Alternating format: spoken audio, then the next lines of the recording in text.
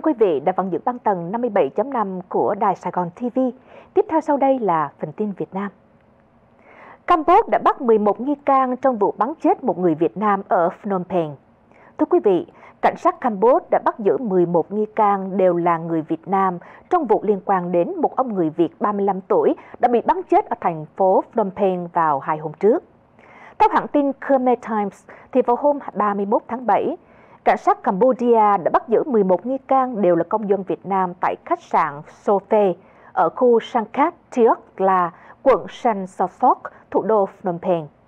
Ông Wood Posavan là cảnh sát địa phương cho biết, cảnh sát đang tiến hành lấy lời khai của các nghi can, cuộc điều tra vẫn đang được tiến hành. Trong khi đó thì ông Chupros là phó đồn trưởng đồn cảnh sát Tu Spray Freyai cho biết, nạn nhân đã được xác minh là công dân Việt Nam sống ở Campuchia nhưng chưa cho biết tên tuổi cụ thể. Các nguồn tin cho biết, trước khi mà vụ nổ súng xảy ra vào lúc 1 giờ rưỡi trưa ngày 29 tháng 7, họ nhìn thấy một chiếc xe hơi chạy dọc đường 163 tại điểm giao với đường 360 ngay trước cổng trường Home of Khmer. Đột nhiên thì chiếc xe dừng lại và nạn nhân mặc quần shorts, áo sơ mi trắng dài tay, đeo túi đen và đi sang đàn bước xuống. Các nhân chứng nghe thấy nạn nhân đã cãi cọ với người ngồi trên chiếc xe. Sau đó thì ông ta đã bỏ đi, nhưng chiếc xe tiếp tục bám theo và đuổi kịp. Kế tiếp thì một ông đã xuống xe, rút súng nhắm vào nạn nhân. Các nhân chứng cho biết là người này đã bắn ba phát súng vào nạn nhân khi mà ông ta đang đi bộ. Nạn nhân đã bỏ chạy được khoảng 15 mét thì đã ngã gục. Cảnh sát địa phương đã tới hiện trường và xác nhận là nạn nhân đã chết. Đại sứ quán tại Việt Nam tại Campuchia đã tiến hành các biện pháp bảo hộ công dân cần thiết, xác định danh tính người bị hại, đồng thời liên lạc với gia đình của nạn nhân để hướng dẫn các thủ tục cần thiết cho chuyện hậu sự. Tin đến từ Việt Nam cho hay, tù nhân lương tâm Trần Huỳnh Duy Thức bị trại tạm giam tịch thu các thiết bị y tế cá nhân. Ông Trần Huỳnh Duy Thức là một doanh nhân và là kỹ sư về công nghệ thông tin, đang phải thụ án năm thứ 14 của bản án 16 năm tù giam về tội danh hoạt động nhằm lật đổ chính quyền Cộng sản Việt Nam. Ông đã bị các quản giáo tại trại giam số 6 ở huyện Thanh Chương, Nghệ An tịch thu các thiết bị y tế cá nhân sau khi ông viết giấy phản hồi lên Tòa án Nhân dân tối cao về văn bản số 253 của chính cơ quan này. Trong văn bản đó thì Tòa án Nhân dân tối cao của Cộng sản Việt Nam khẳng định ông Trần Huỳnh Duy Thức bị kết tội thuộc trường hợp tội phạm đã hoàn thành và không thuộc trường hợp chuẩn bị phạm tội thuộc Bộ luật hình sự của Cộng sản Việt Nam. Do đó, ông Trần Huỳnh Duy Thức không thuộc nhóm người được áp dụng các điều khoản có lợi theo quy định tại Nghị quyết số 41 năm 2017 của Quốc hội để xem xét miễn phần hình phạt còn lại. Theo lời ông Trần Huỳnh Duy Thức thuật lại với gia đình ông, thì người của cơ quan an ninh đã vào phòng giam kiểm tra tất cả đồ đạc cá nhân còn sót lại. Trại giam này cũng không cho biết là ông Trần Huỳnh Duy Thức tiếp tục gửi thư về nhà như thường lệ hay không. Ông Trần Huỳnh Duy Thức là một trong nhiều tù nhân lương tâm được nhiều chính phủ của các quốc gia phương Tây quan tâm và đã nhiều, đã có nhiều tổ chức nhân quyền quốc tế lên tiếng đòi tự do cho ông kể từ khi ông bị bắt giam hồi năm 2009. Ông Trần Huỳnh Duy Thức đã tuyệt thực nhiều lần trong trại giam để phản đối việc ông bị đối xử vô nhân đạo và ông đòi được trả tự do. Ông cũng tuyên bố ông chỉ muốn ở lại Việt Nam để tiếp tục tranh đấu vì nhân quyền mà thôi. Và kính thưa quý vị, Hoa hậu Ý Nhi đã bị 200.000 người tẩy chay yêu cầu tức vương miệng. Sau khi đăng quang Hoa hậu Thế giới Việt Nam năm 2023, Huỳnh Trần Ý Nhi đã nhận được sự quan tâm lớn từ khán giả. Tuy nhiên thì người đẹp 21 tuổi này lại liên tục vướng tranh cãi liên quan đến những chia sẻ trong các buổi giao lưu truyền thông. Trên mạng xã hội thì Ý Nhi đã bị lập nhóm tẩy chay với số người theo dõi lên tới là hơn 200.000 người và con số này vẫn đang không ngừng tăng lên.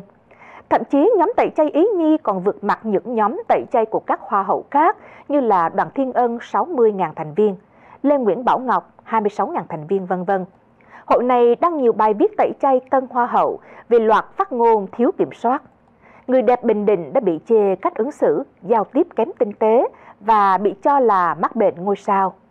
Một số dân mạng còn gửi email đến ban tổ chức cuộc thi Hoa hậu Thế giới Việt Nam yêu cầu tước vương miện của cô Yến Nhi vì cho rằng là cô chưa xứng đáng với ngôi vị cao nhất, thiếu các yếu tố như là tài, sắc và đức. Khán giả cũng nhận xét tư duy, tiếng Anh và khả năng ứng xử của Yến Nhi không đủ đáp ứng để có thể trở thành thí sinh đại diện cho Việt Nam bước ra đấu trường quốc tế Miss World. Đại diện truyền thông của Hoa hậu Thế giới Việt Nam cho biết đã nhận được các email liên quan đến sự việc của Yến Nhi. Phía công ty quản lý đang giải quyết và sẽ đưa ra thông báo chính thức trong thời gian sớm nhất. Trước đó thì trong các cuộc giao lưu với truyền thông sau khi mà đăng quang thì Hoa hậu Yến Nhi đã có nhiều phát ngôn gây tranh cãi. Khi nói về thành tựu của bản thân, người đẹp tự nhiên cảm thấy tự hào khi mà cô đã đi thi Hoa hậu, còn các bạn đồng trang lứa thì dành thời gian để ngủ, uống trà sữa. Khi nhắc về bạn trai thì ý Nhi nói rằng cô đã có một cương vị mới, do đó bạn trai cũng phải thay đổi nhanh chóng, tiến bộ nhiều hơn để có thể theo kịp mình. Thành phố Sài Gòn thu hồi sản phẩm lưu niệm in thiếu quần đảo Hoàng Sa và Trường Sa. Hồi gần đây, trên các trang mạng xã hội như là Facebook đã xuất hiện các tin cho hay Bưu điện thành phố Sài Gòn ở quận Nhất đã bày bán hàng loạt những bộ món đồ lưu niệm in hình bản đồ mà không có quần đảo Hoàng Sa và quần đảo Trường Sa. Theo tờ báo Tuổi Trẻ trong nước, một số lượng lớn các sản phẩm như là móc khóa, nam châm để trên tủ lạnh, các sổ tay và những tấm bưu thiếp bày bán tại bưu điện thành phố Sài Gòn chỉ đề cập tới các địa danh như là Hà Nội, Sài Gòn và Đà Nẵng, mà hoàn toàn không có ký hiệu về hai quần đảo nói trên. Đặc biệt, những con tem có hình bản đồ được bày bán tại đây cũng thiếu hình ảnh của quần đảo Hoàng Sa và quần đảo Trường Sa. Khi hỏi các nhân viên trông coi quầy hàng lưu niệm, họ cho biết rằng các con tem này đều do bưu điện phát hành. Ngoài ra, một số bao bì đóng gói các đồ lưu niệm cũng thiếu sót trong việc in ấn. Các phong bì đựng tiền xu và đựng tem đều mắc phải điểm chung đó là thiếu hai quần đảo Hoàng Sa và Trường Sa. Chánh thanh tra Sở Du lịch thành phố Sài Gòn cho hay họ đã có văn bản làm việc với chánh văn phòng Bưu điện thành phố Sài Gòn nhằm thu hồi các sản phẩm in thiếu hai quần đảo này. Họ cũng khẳng định rằng việc phải in đầy đủ chủ quyền biển đảo trên những hiện vật lưu niệm là chuyện đặc biệt quan trọng. Về phía bưu điện thì chánh văn phòng bưu điện thành phố Sài Gòn cho hay sau khi nhận được tin tức phản ánh thì họ đã kiểm tra và có văn bản thu hồi các sản phẩm lưu niệm thiếu hình ảnh của hai quần đảo Hoàng Sa và Trường Sa.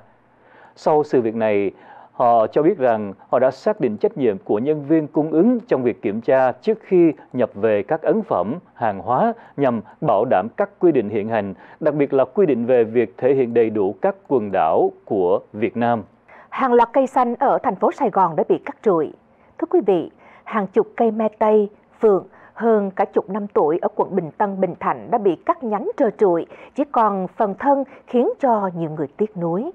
Vào chiều ngày 30 tháng 7, hơn chục cây me tây ở đường có đường kính từ 30 cho đến 50 cm nằm trong công viên Thanh Đa, phường 27 quận Bình Thạnh chỉ còn nhánh cây thô ráp trông thiếu sức sống, xen kẽ những cây lớn vẫn còn nguyên cành lá. Dưới gốc thì hàng trăm thớ gỗ lớn có đường kính hơn một găng tay chất đống. Cách đó thì khoảng 15 cây số, 12 cây phượng nằm trong khu y tế kỹ thuật cao Hoa Lâm Shangri-La, quận Bình Tân cũng đã bị cắt hết cành. Có cây chỉ còn lại thân cao từ 3 cho đến 5 mét. Hầu hết thì phần gốc của các cây đều còn tươi tốt, không có dấu hiệu mục hoặc là sâu bệnh. Đại diện tập đoàn Môi trường xanh, đơn vị phụ trách duy tu cây xanh tại công viên Thanh Đa cho biết, các cây đã được khảo sát trước khi mà cắt tỉa do cây me tây là loại có bộ rễ nổi, nếu như để nhiều cành lá thì sẽ tiềm ẩn có nguy cơ gãy, đổ nên phải cắt trụi. Trong khi đó thì theo hướng dẫn trồng và chăm sóc cây xanh trong khuôn viên của tổ chức cá nhân do Sở Xây dựng Sài Gòn ban hành, thì việc cây xanh bị cắt trụi lá là không đúng kỹ thuật, ảnh hưởng đến sinh trưởng, mất an toàn và mỹ quan. Cây xanh bị cắt trụi dễ sinh ra những chồi bất định. Khi phát triển thành cành cây thì có liên kết yếu, rất dễ gãy, tét, gây mất an toàn. Năm ngoái thì có hơn 20 cây bàn Đài Loan trong khu dân cư ở quận 8 cũng đã bị cắt trụi do cắt tỉa không đúng cách, đã bị lố tay. Ngay sau đó thì quận đã rà soát lên phương án để hồi phục các hàng cây này thưa quý vị. Một bản tin khá lạ đó là một công ty bị xử phạt vì sử dụng điện quá ít. Vào ngày 30 tháng 7 vừa qua, ông Nguyễn Anh Tâm là giám đốc công ty chế biến Trường Thịnh đóng tại khu công nghiệp Quảng Phú của tỉnh Quảng Ngãi cho hay công ty của ông vừa bị ngành điện lực xử phạt vì sử dụng điện ít hơn so với hợp đồng đã ký. Có tháng, riêng tiền phạt và tiền bồi thường hợp đồng mà công ty này phải đóng đó là hơn 8 triệu đồng Việt Nam, tương đương 335 Mỹ Kim. Theo chủ công ty này cho hay, trong thời gian vừa qua, vì không có mặt hàng hải sản để chế biến, nên sản lượng điện tiêu thụ trong từng tháng của công ty này không vượt quá được con số hơn 50% so với tổng sản lượng điện năng tối thiểu quy định hàng tháng mà công ty của ông phải sử dụng, đó là gần 200.000 kWh như là lời cam kết trong bản hợp đồng đầu tư trạm biến áp đối với công ty điện lực Quảng Ngãi. Chủ công ty này cho hay quy định sử dụng không đủ sản lượng điện quy định trong từng tháng sẽ bị phạt của ngành điện lực, đang gây ra sự thiệt thòi cho các công ty. Bởi vì có tháng, các công ty sử dụng vượt xa so với mức tối thiểu về sản lượng điện theo quy định. Ngay cả sản lượng sử dụng chia đều cho cả năm cũng đều vượt mức. Phó giám đốc của công ty điện lực Quảng Ngãi là ông Phan Vũ Đông cho hay, phần lớn các công trình điện lực được đầu tư đều do công ty điện lực Quảng Ngãi vay vốn thương mại để thực hiện. Khi vay vốn thương mại như thế thì công ty điện lực phải trả lời hàng tháng. Do đó khi tính toán đưa ra quy định này để ràng buộc, gia tăng trách nhiệm của khách hàng trong việc sử dụng điện một cách thực tế, tránh trường hợp ghi danh nhiều nhưng công ty lại sử dụng điện thấp hơn định mức. Còn về lời đề nghị vì sao ngành điện lực không cộng dồn tổng sản lượng điện tiêu thụ cả năm để chia đều cho 12 tháng trong năm để làm căn cứ xử phạt, thì phía công ty điện lực tỉnh Quảng Ngãi cho rằng họ không thể tính theo cách này vì tiền vay để đầu tư những trạm biến áp phải trả tiền lãi vay hàng tháng, cho nên họ phải áp dụng theo từng tháng để xử phạt các công ty vi phạm hợp đồng.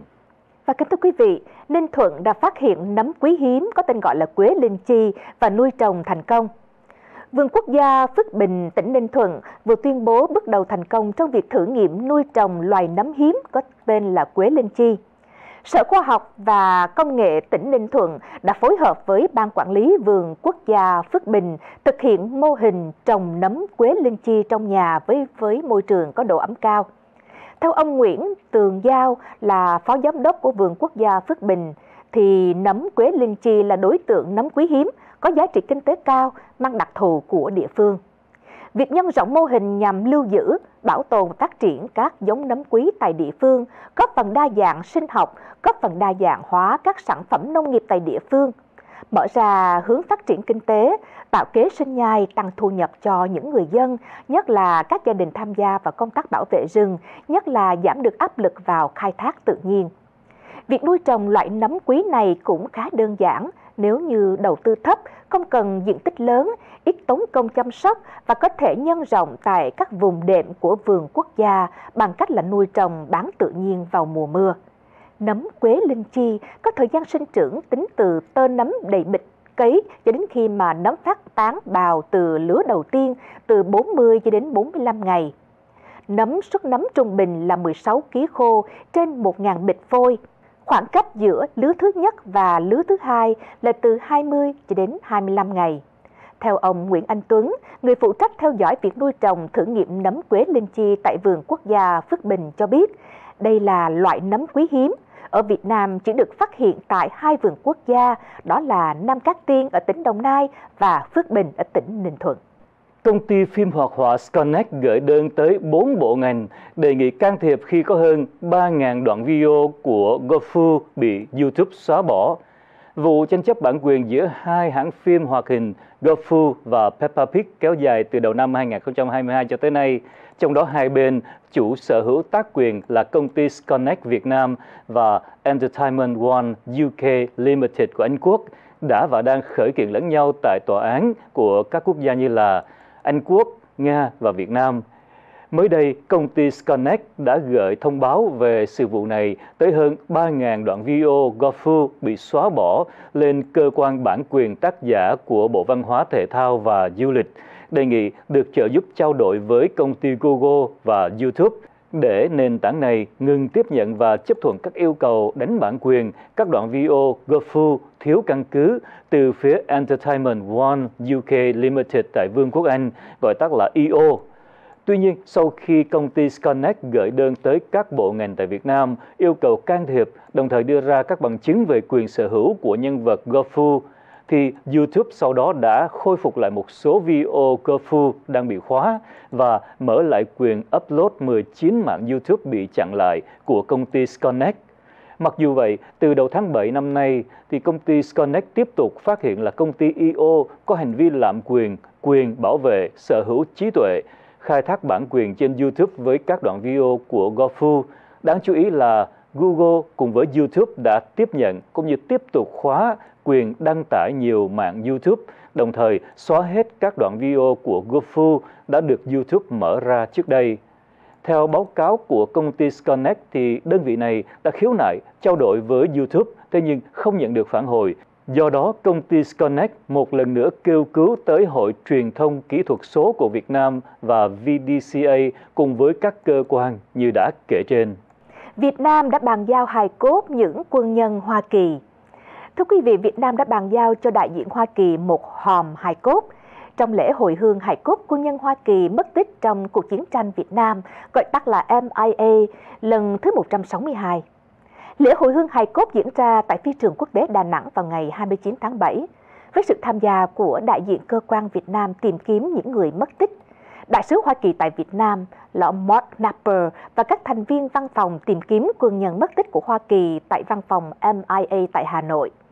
Đây là kết quả hoạt động của ờ, đội khai quật dưới nước tại khu vực Nha Trang, Khánh Hòa trong đợt hoạt động hỗn hợp lần thứ 151 diễn ra từ tháng 5 cho đến tháng 7. Hai cốt trên đã được các chuyên gia pháp y Việt Nam giám định tại Đà Nẵng và kết luận có thể liên quan đến các quân nhân Hoa Kỳ mất tích trong cuộc chiến tranh Việt Nam